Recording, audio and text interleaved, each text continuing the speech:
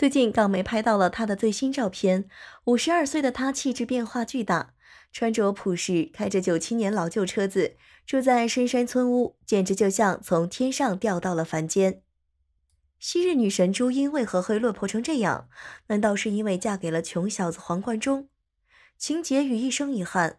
一九九一年，二十岁的朱茵凭借出色的外形，成为热门电影《逃学威龙二》的女主角。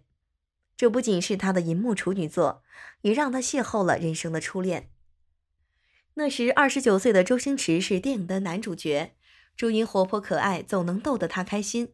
两人有一场吻戏，原本可以利用错位技巧完成，但他们却深情拥吻。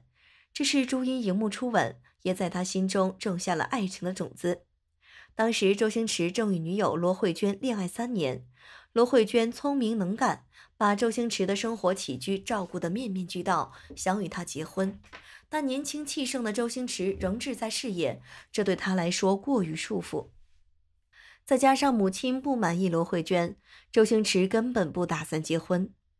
当电影《逃学威龙二》大获成功后，周星驰与朱茵的绯闻垂随之传开，罗慧娟心如刀割。尽管双方都否认恋情，但广大观众们早已开启吃瓜模式。罗慧娟不甘心就这样失去周星驰，主动提出要结婚，却被戏言一句：“你神经病啊！”两人感情就此破裂。周星驰选择了自由，也从此失去了这位贤内助。朱茵的出现只是雪上加霜，让这个注定破裂的感情提前画上句号。一段佳话就此展开，而这也改变了朱茵原本顺利的人生轨迹。之后，周星驰在事业上日渐成功，他极力推荐朱茵出演《大话西游》的女一号。在这部电影中，朱茵精彩演绎了紫霞一角，和她演的至尊宝间的感情线牢牢抓住观众眼球。一九九五年，两人再次共同搭档拍摄了《大话西游之大圣娶亲》，周星驰亲手为朱茵写下了许多动人的台词表白，两人的感情也在拍摄过程中达到高潮。然而，就在这时，两人的爱情之路却突然中断，他们宣布分手，结束了三年的恋情，一对金童玉女就此散场，实则被绿，跌入谷底。直到多年后，朱茵终于揭露了分手的真正原因：周星驰出轨。据朱茵透露，她曾亲眼捉奸过周星驰。那天，她来到周星驰的酒店房间，发现房内空无一人，卫生间门紧锁，而床单还是温热的。这明显的证据表明，周星驰背着她和其他女人约会。当时外界猜测，第三者很可能是在《大话西游》剧组认识的莫文蔚，但莫文蔚否认了这一说法。朱茵曾流着泪说：“这三年来，两人相恋的日子，她经历了爱与痛的双重折磨。周星驰不愿公开关系，自己的内心备受煎熬，在这段感情里摔得很惨。单纯的他渴望一段正大光明的爱，但他给不了。”一颗真心换来的只有悲伤和痛苦，只能选择放手。这也成为朱茵许多年不能走出的心病。分手后，他接拍了一部警匪剧，却发现这部戏极其尺度大，完全亵渎了他之前的人设形象。起初，朱茵被导演王晶邀请出演这部片子，他希望能够迅速转型，重新出发。于是，在未看清剧本的情况下，就匆忙签约。当真正开拍时，朱茵才发现这是一部类似 AV 的影片，却已经身不由己。影片一经上映，朱茵紫霞仙子的形象顷刻间粉碎，观众对她大肆谩骂，资源瞬间断流，朱茵从巅峰跌入谷底。这一打击几乎将她摧毁。而就在这时，周星驰的一句“没有开始，哪来的结束”，更是直接将她心口插了一刀。而他曾付出真心的恋人，不仅背叛了他，还在分手后狠狠伤害他。朱茵靠自己的毅力走出这一切，但至今回首，依然觉得当时的痛苦无以复加。但俗话说得好，有福之女不入无福之家。毕竟姻缘上天安排的最大嘛，天赐良缘，骂声一片。一九九八年，朱茵在自家门前总是看见、发现一条狗一直无人问津，便好心带回家精心照顾。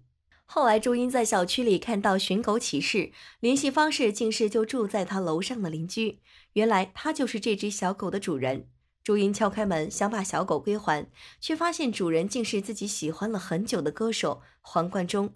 这原本只是一次平凡的邂逅，却让朱茵与黄贯中结下了不解之缘。也许这就是命中注定的缘分，上天注定他们的相遇。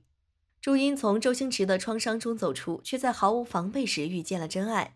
有时候，上天会在你最脆弱的时候，让最适合你的人出现，治愈你内心的伤。两人的爱情让许多人惊讶不已。有媒体说，黄贯中配不上朱茵。因为朱茵的成长环境非常优越，在那个年代，许多女演员都是出于生计所迫进入娱乐圈，她们或还债或养家，背后多有悲惨遭遇。但朱茵幸运的拥有完整的中产阶级家庭，父母的爱给了她巨大的安全感，他们用爱和鼓励培养朱茵，让她从小就明白自己是被深爱着的。当她想走入演艺界时，父母再次给予全力支持，只要她自己开心就好。她选择当演员，纯粹出于对表演的热爱，并不需要为糊口才入行。可以说，朱茵从小生活无忧，成长过程顺风顺水，这都得益于父母对她的呵护与鼓励。黄贯中不仅长相平平，当时人气也大不如前，而且出身贫苦，父亲还经常家暴，他自己靠打工勉强上了大学。加入 Beyond 后稍有起色，但从不如和其他成员红。多年前，黄贯中曾在演出时望着台下的朱茵，心动不已。但他觉得与天之娇女朱茵比，自己只是普通人，不敢开始追求。直到多年后，命运让他们再次相遇，他从不掩饰对她的爱意。他当众牵手，让所有人知道他最爱的女人就是朱茵。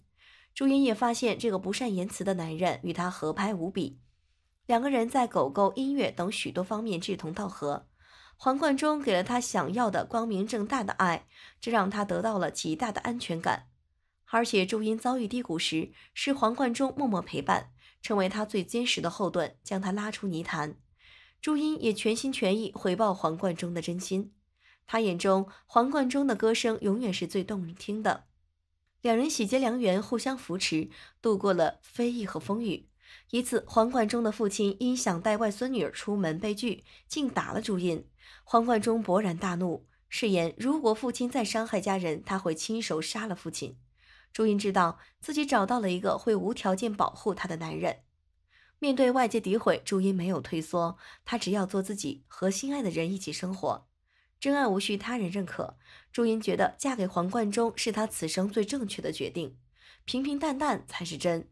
朱茵与黄贯中婚后，被港媒爆出住在破旧老村，开着老车，遭吐槽沦落。但事实果真如此吗？